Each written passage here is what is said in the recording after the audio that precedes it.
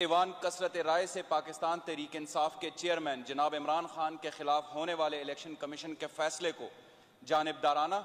खिलाफ वाकयात, खिलाफ कानून और आइन के मनाफी करार देता है। मुल्क के सबसे हर दिल अज़ीज़ और नेक नाम सियासतदान, जिसकी सारी ज़िंदगी करप्शन और सियासी ख़यानत के खिलाफ जहाद में गुजरी है, को झूठे इल्ज़ाम पर नाअहल करार देना इंसाफ के कत्ल के मुतरद है,